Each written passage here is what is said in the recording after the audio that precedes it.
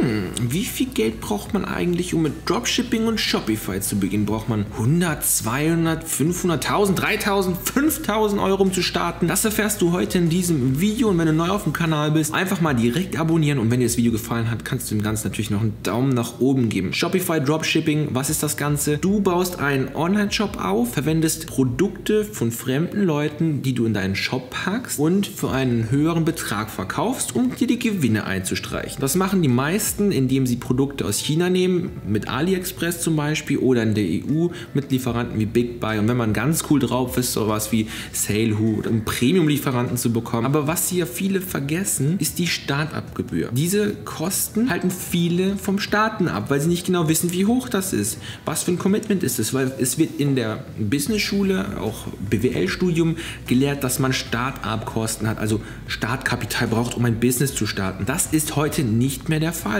Heute kann man Businesses starten für wenig Geld. Manche schaffen das auch für 0 Euro. Ich möchte aber heute in diesem Video realistisch darlegen, was du wirklich brauchst, um zum Beispiel mit E-Commerce zu beginnen. Wenn du ganz am Anfang bist, empfehle ich dir natürlich das Modell Dropshipping, weil es sehr einfach ist zum Starten. Warum? weil du fremde Produkte eben, wie gesagt, verwenden kannst. Und wie viel brauchst du jetzt wirklich? Brauchst du jetzt 100, brauchst du 200, brauchst du 500, 1000, wie auch immer.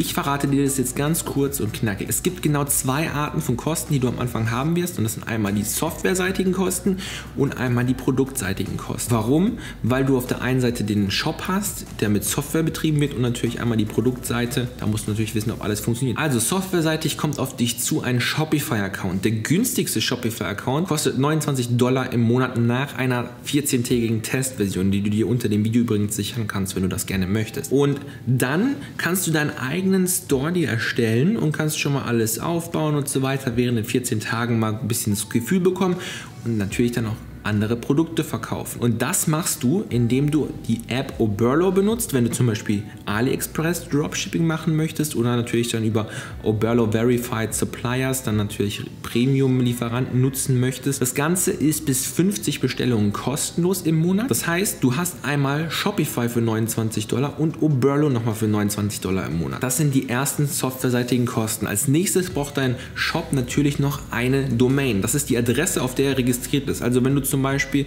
Entsafterzeug verkaufst, also so grüne Smoothies und so weiter, dann würde ich es nennen mydailyjuicing.com oder sowas. Das ist dann eben die Seite dafür. Wenn du die eingibst, kommt man auf deinen Shop. Und das kostet dich zwischen 12 und 14 Dollar, je nachdem, was für eine Domain du dir kaufst. Manchmal gibt es auch Angebote für 1 Dollar Domains, dann heißt es so .xyz oder so, also wirklich .xyz.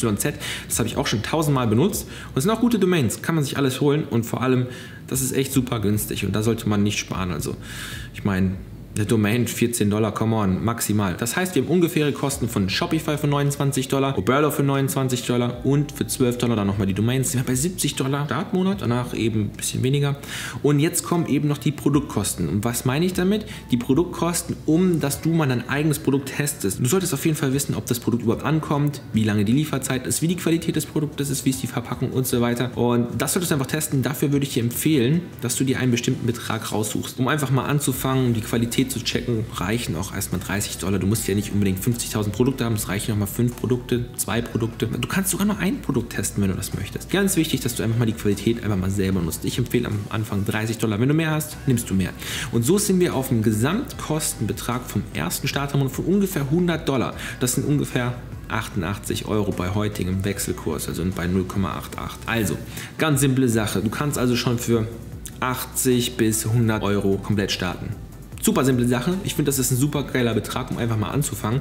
Und wenn du jetzt zum Beispiel ähm, das Ganze natürlich aufs nächste Level bringen willst, dann kannst du natürlich noch mehr Produkte testen und so weiter. Aber für den Anfang reichen wirklich 100 Euro, um einfach mal was sich aufzubauen. Damit hast du schon einen Monat Shopify bezahlt, einen Monat Oberlo bezahlt. Da du aber noch 50 Bestellungen frei hast bei Oberlo, kannst du dir die 29 Dollar im ersten Monat sowieso schon mal komplett sparen. Es sei denn, du machst natürlich viel mehr Umsatz, kann ja natürlich passieren. Also richtig gute Sache auf jeden Fall, dass man mit 100 Dollar und weniger heutzutage schon sich ein eigenes E-Commerce-Business aufbauen kann. Und die ganzen Schritte, die du brauchst, um das alles zu schaffen, habe ich dir in meinem E-Com Blackbook dargelegt. Damit kannst du in unter 60 Tagen dein eigenes E-Com-Business aufbauen, egal ob du Anfänger bist oder du schon einen eigenen Shop hast. Verlinke ich dir in der Videobeschreibung. Und dann würde ich sagen, sehen wir uns im nächsten Video. Bis dann.